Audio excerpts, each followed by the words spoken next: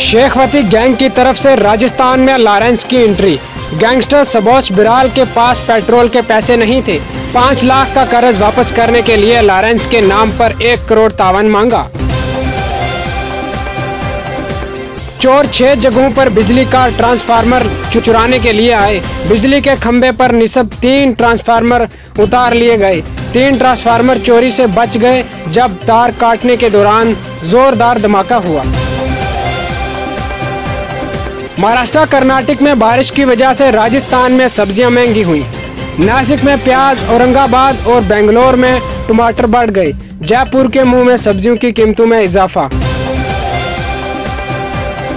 City council ने L N T company को notice दिया। सेवरेज के काम के दौरान जगह जगह सड़कें खोद दी गई सड़कों पर तमीराती काम के साइन बोर्ड न होने की वजह से ड्राइवर जख्मी हो गए। सामलिया सेठ को चांदी का डैम्पर तोहफे में दिया गया। कोरोना में कम चलाने की मन्नत मांगी गई।